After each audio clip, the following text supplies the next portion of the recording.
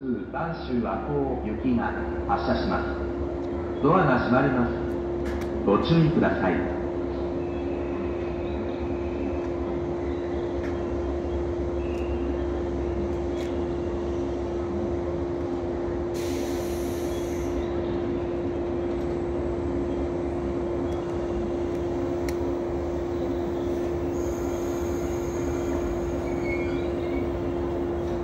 今日も JR 西日本岡山駅をご利用いただきましてありがとうございます。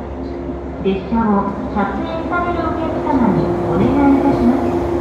黄色のフェンスブロックよりもフェンス側に近づいてフェンスや柵を乗り出しての撮影は危険ですからおやめください。